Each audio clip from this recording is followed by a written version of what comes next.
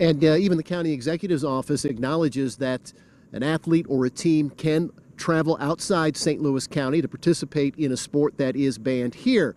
Protesters here in Clayton tonight say that's just one reason why they feel the restrictions in St. Louis County should be lifted.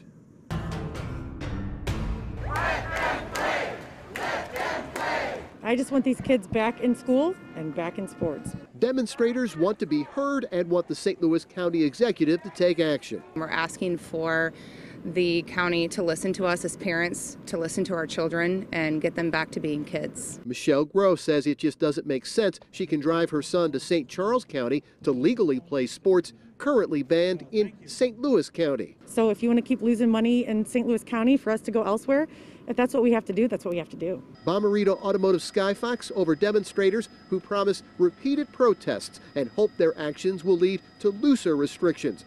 We asked local attorney Jay Kanzler for his take on what could be the consequences if a team decided to defy a health order and play in St. Louis County. If a, an organization, a youth sports team, were to say, I'm not going to follow this, we're going to have our games this weekend, we don't care, they could be issued citations. It's a misdemeanor, but a misdemeanor still carries up to a year in jail and a $2,000 fine. County officials have said they're more interested in compliance than punishment, but teams could also face civil penalties if they defied the order and something went wrong. There's a whole cottage industry out there just waiting to jump on lawsuits.